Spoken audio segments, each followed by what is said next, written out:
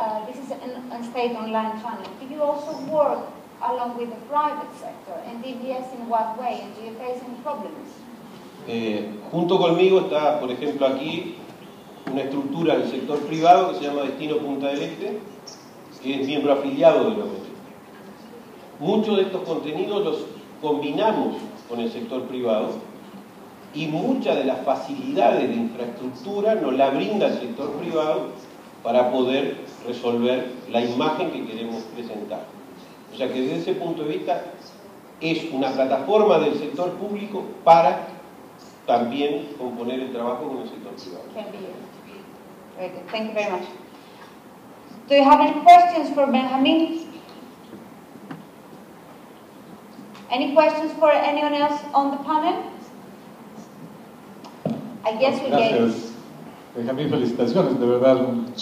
Mi nombre es José Naranjo, soy del Ministerio de Turismo del Ecuador.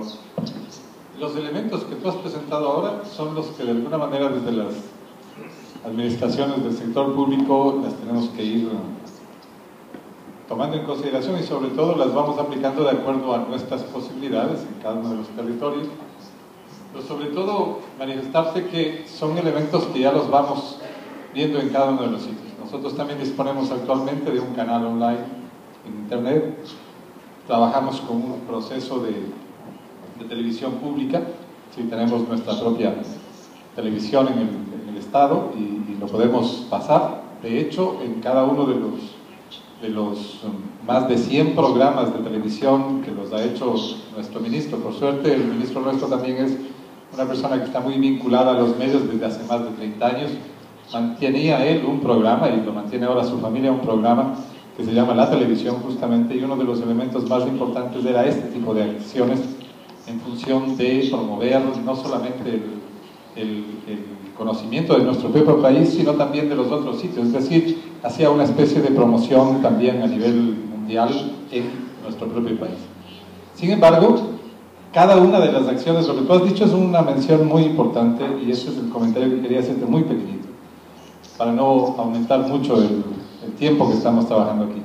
Cada uno de los países tiene que aprovechar este tema de herramientas en lo que le corresponde y desde el espacio que, nos, que tenemos. Es decir, si es que nuestro interés está en los más de 26 millones de turistas que están llegando a nuestro territorio, es decir, la zona de nuestro continente sur, y pensar que también tenemos que aprovechar este tipo de herramientas como para poder manejarnos regionalmente. Lamentablemente en la conferencia de hoy en la mañana, cuando Marcio Favilla estaba haciendo de, de, moderador, no tuvimos posibilidad de hacer una serie de comentarios al respecto de lo que se dijo en ese momento, pero lo que decía, si no estoy equivocado, Jack era el segundo conferencista, él tenía muchísima razón. ¿Qué es lo que está haciendo el tema tecnológico en función digo, de todas estas, hablando de todo este tipo de herramientas, ¿qué está haciendo en lo que corresponde a mercados regionales que nos interesan muchísimo más?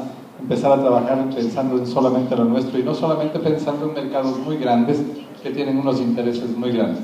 Hay problemas en los conceptos de migración, por ejemplo, que tendríamos que comunicar y hay que saberlo comunicar. Nosotros tenemos un problema que está internamente metido en nuestro territorio, que es el problema relacionado los aeropuertos ya lo han solucionado de alguna manera tecnológicamente, pero vemos que siguen teniendo problemas. En los casos nuestros, nuestros países, tenemos problemas que, si en el caso de los aeropuertos es tremendamente difícil, solo valdría la pena saber qué difícil es el espacio territorial que nosotros tenemos, es decir, la parte de movilización terrestre en nuestros territorios. Es decir, todas estas herramientas, lo que tú has dicho y has mencionado que tienes un, una carga muy fuerte con el la cantidad de información que hemos referido, es importante también manejarlo a niveles un poco más regionales. Solamente el comentario nada más. Felicitaciones por lo que estás haciendo. Muchas gracias. Eh, a ver, si, si, logro por lo menos entender. Yo creo que esta, la herramienta tecnológica nos ha permitido o nos está permitiendo generar nuevas condiciones de comunicación independiente del tamaño aún para vencer algunas de las limitaciones que los grandes medios o las grandes estructuras de la comunicación dan. Este, este tipo de herramienta que yo ahora estoy mencionando, procuramos que sean a nuestra escala los que viven la experiencia, algo lo que Andrew señalaba, sean los que dan su comunicación. No necesariamente es un aviso publicitario el canal, es simplemente trasladar experiencias, es tratar de informar. Y por eso también, desde ese punto de vista, la propia realidad que en un aeropuerto se puede dar, es válido para tenerlo por la positiva de cómo transitar por él y mejorar las dificultades que podemos tener. Por lo tanto, es muy importante eso, como puede ser muy importante utilizar una herramienta de esta característica para capacitar a los oficiales de migración que son los que dan la primera atención en un aeropuerto.